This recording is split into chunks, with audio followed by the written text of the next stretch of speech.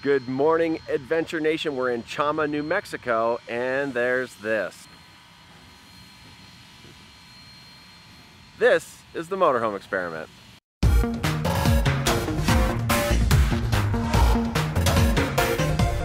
This is Chama, New Mexico. Early in the morning, and we're heading out to check the Cumbres and Toltec Railroad. Cool little building there.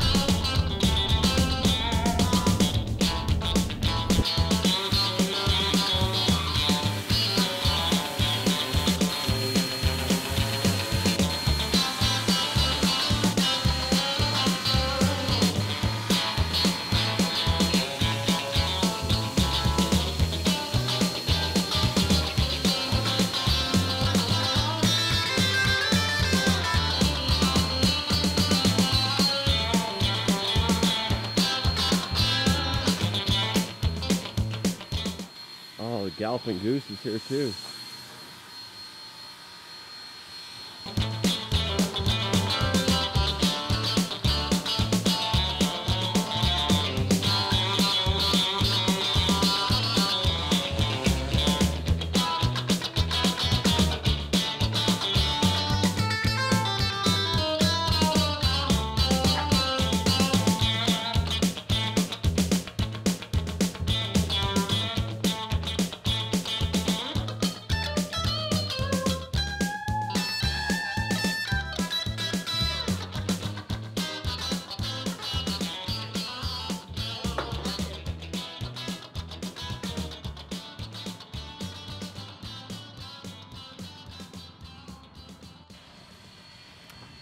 The Chama, New Mexico train. Kind of does a one-way north, and then you come back by bus. And unfortunately, this trip we're not going to be able to do it, but we're going to be back because I like trains. It's gonna have to be until May though. Yeah, it has to be May. It stops running in October, and uh, it only runs May through October, so it'll have to be sometime next year. But uh, this would pop a full day, full extra day into us getting back home, so not gonna happen. But looks really, really cool.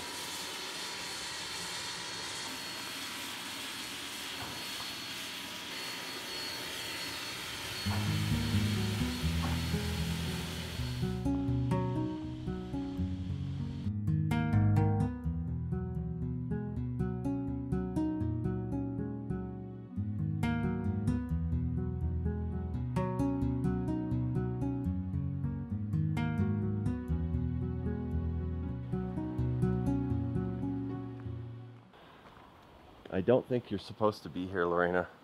It doesn't say not to come here, and there is a guy that works here. He has not said anything. Okay. This is cool. Mm-hmm.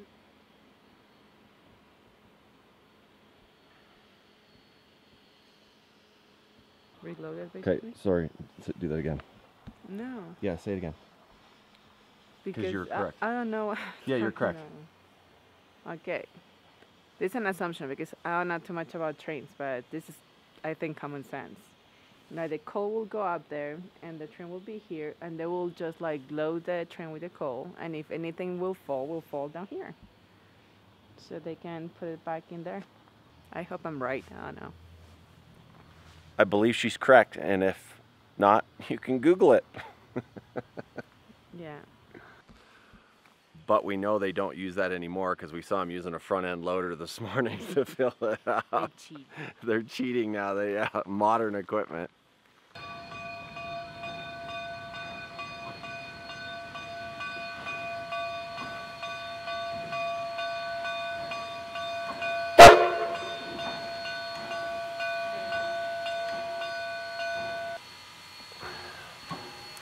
What's crazy about these what's crazy about these old steam trains is that they sound like they're breathing.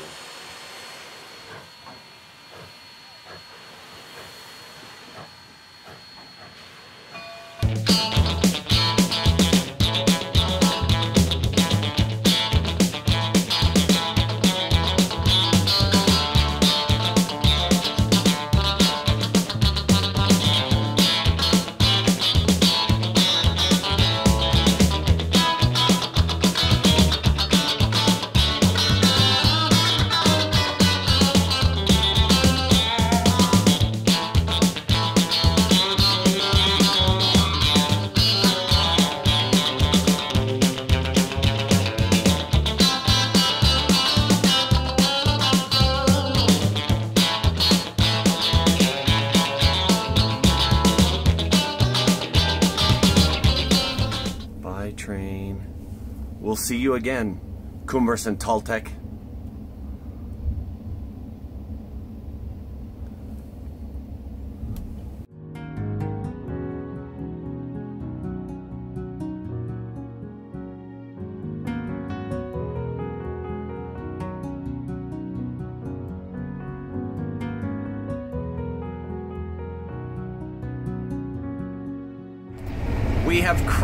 From New Mexico, northern New Mexico, obviously, into Colorado. And Colorado never disappoints. Absolutely gorgeous and picturesque. Of course, I probably picked the worst area to film. Look at that. Nice.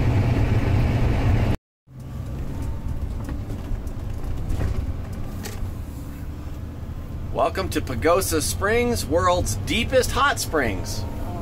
Wow, very cool. I wish we'd known that before we decided we weren't stopping here. we would have drove up here last night. Look at this place, it's just packed.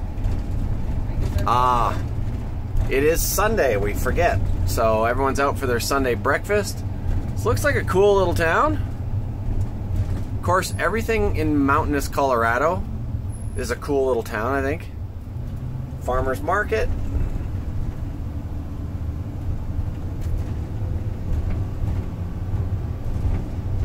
Arts and crafts. Very cool.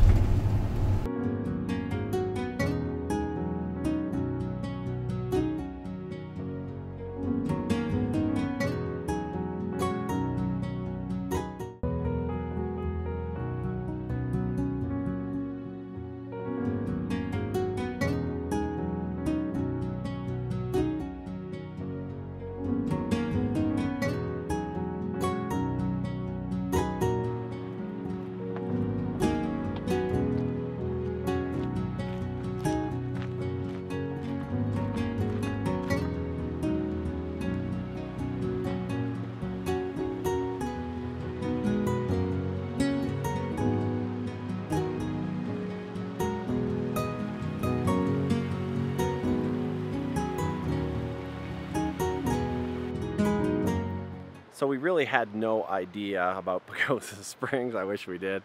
But uh, this whole area behind us is like all hot springs coming fresh, natural hot springs that they've walled some of them in so that uh, you can sit there and bathe in it.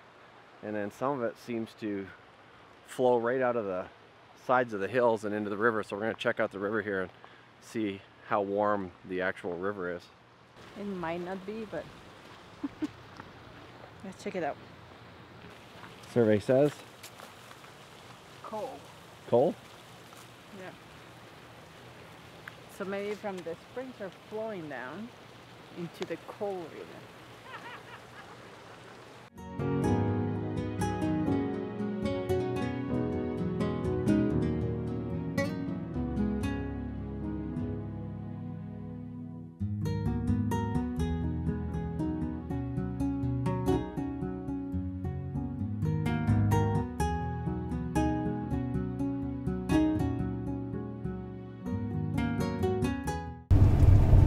So Pagosa Springs, hot springs and a golf course with a badass lake on it. We gotta come back here. We can spend a couple days here. Yeah, we'll be back for sure. Like it? Like it.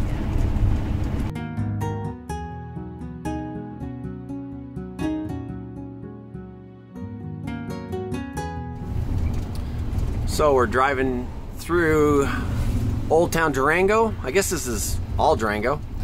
And we're gonna be spending the night here, doing some exploring of the downtown area and enjoying some of their food. Durango is one of my favorite places in the Southwest. It's just a cool little town.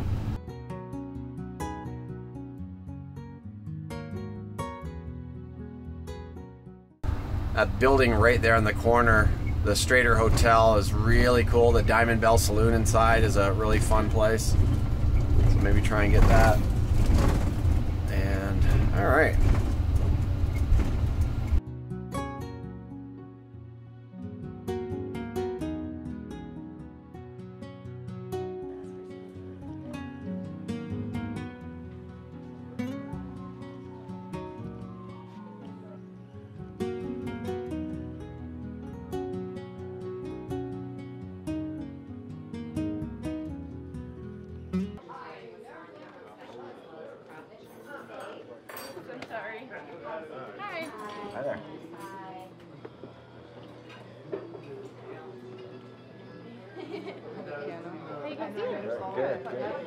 Good.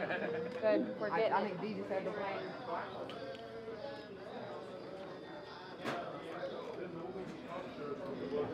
We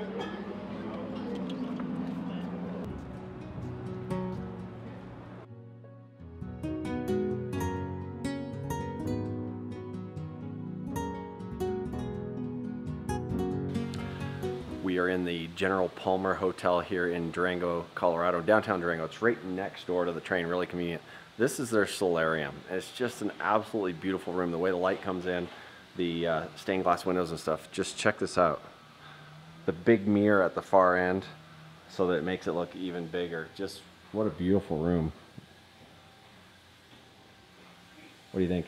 And very handy to the train depot. So you're taking the train from Durango. Maybe this is the place to stay. I know how much it will cost. Yeah.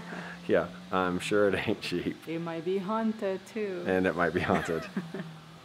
I can just picture sitting in that room, having a cigar, reading a book. You can smoke cigars. No, I don't smoke cigars, but if I did, I could picture myself in there smoking a cigar. With- you, will be drinking a Dr. Yeah, Pepper, drinking a Dr. reading a Pepper, reading a book. The More like listening to an audiobook. Or listening to an audiobook, yeah, because I don't read either. Oh, he reads. He just not as much as listen to audiobooks. we found this really cool little rooftop restaurant and it's packed in here today because it's Broncos football day.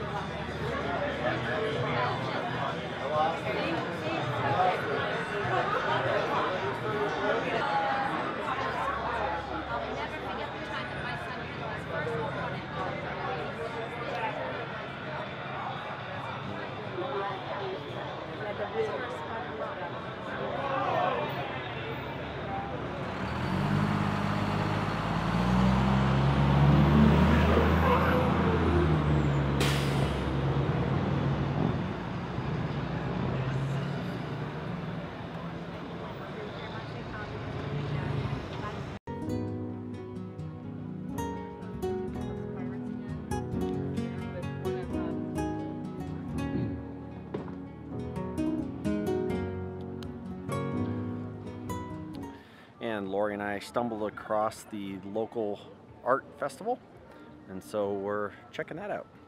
Pretty Very cool, cool. stuff. Mm-hmm. Oh wow! Look at this. Oh, that's awesome. See, if I have a house, that will be a kind of chair that is just unique. No, I use bamboo So we'll buy one. So a lot of it's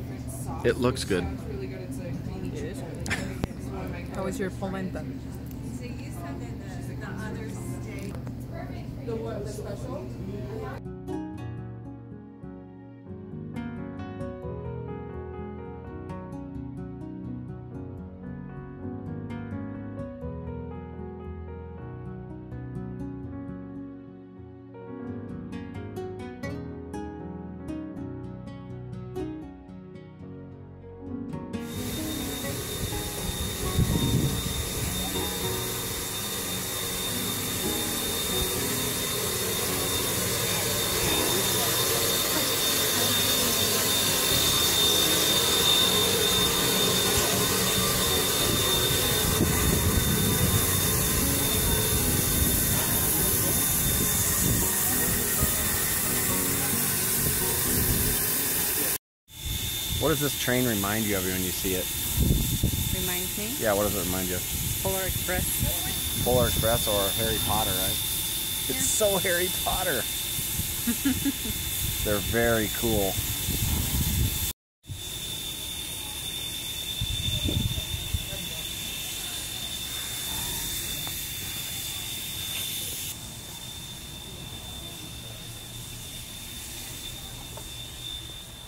Oh my goodness.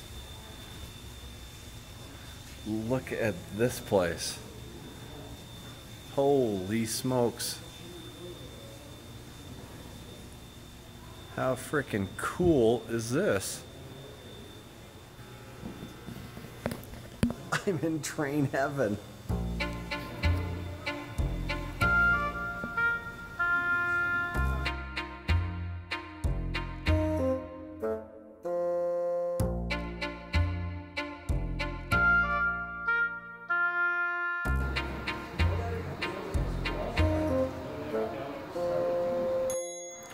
Crazy, gang, is I've been to Durango many, many times, and I did not know that the museum was here at the train station. Some phenomenal cars, really cool model trains, obviously some great trains, and just some really cool museum pieces. Uh, some old uh, cars, some an old caboose. There's just I could spend hours in here, but we don't have time because we're heading off to see a vaudeville show. But very, very cool. Now I just have to go find Lori. Oh, this is going to be really cool.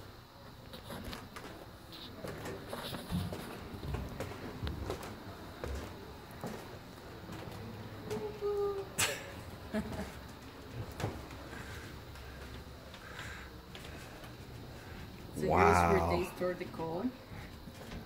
And from here, I need to there. Coal in the back. They come and shovel it into here. I guess they drag it here down. It's crazy. Here, I can't go in there, but you guys can. Here.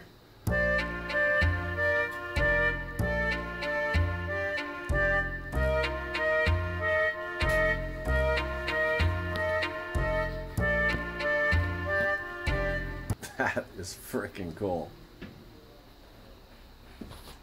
Okay, guys, one of the things you have to realize is this is one of the first pieces of transportation, one of the first modes of transportation. So somebody had to sit down, figure all of this steam stuff out, figure out how they're going to heat it up down here and get the water to come up through this and the steam and everything to move. And so, like, these guys were the true pioneers, the true engineers of the transportation industry. So, looking at this stuff to me is just absolutely incredible. It's just mind blowing. We're just getting ready to put this on the turntable to turn it around.